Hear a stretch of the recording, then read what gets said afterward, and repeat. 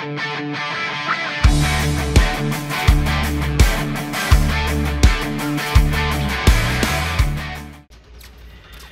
going on everybody, Dogman Dan here!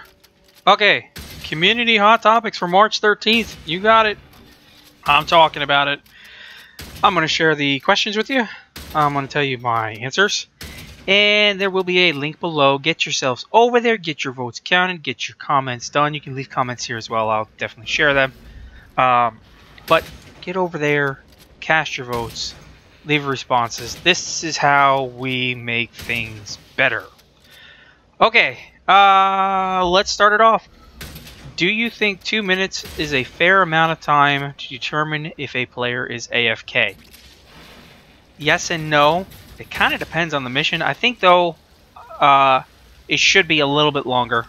Um, at, at the basic, it should be maybe three minutes, to be honest. But let's not extend it too far to the point where it becomes a useless setup. Uh, do you think AFK players should have their energy and or rewards restricted. I believe that both should be done. Um, but that's just my personal opinion.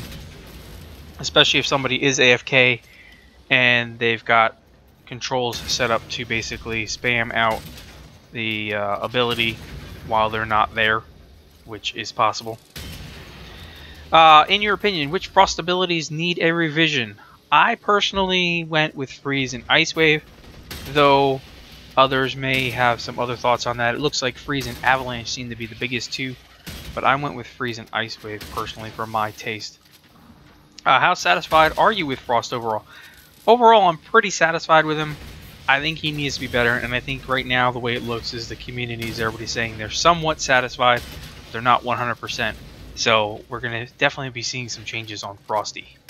Uh, now, for PvP players, what do you think of Capture the Cephalon game mode so far?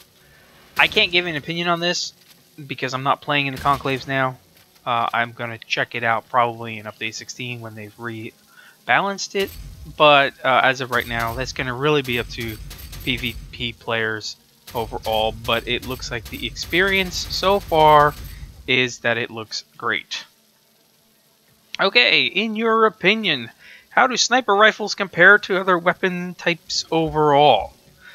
Well, uh, obviously I'm running uh, Vectis right now on a tier 3 tower, Exterminate, and I'm doing fine, HUDless, but I've been practicing my skills. But that, regardless of that, overall sniper rifles are weaker than other primary rifles in this game. And sure, I can one-shot these things and I can do it on higher level enemies too, but overall, the sniper rifles, while very strong, they're not the best playable thing in this game, and they do need some adjustments to them, and that's how I kind of voted for it. Uh, how frequently do you use sniper rifles? I use them pretty frequently, but then again, I use every weapon pretty frequently, so, you know, that's, uh, that is what it is.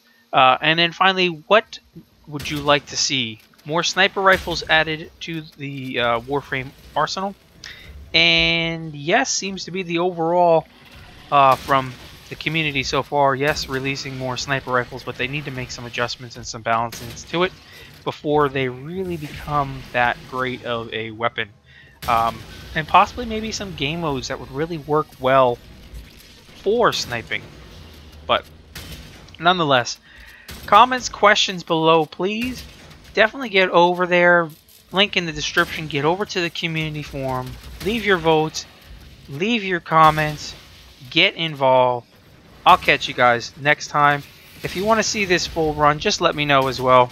And I will make a video giving you the full run on this Tower 3 with my Vectis HUDless and my Nova Prime.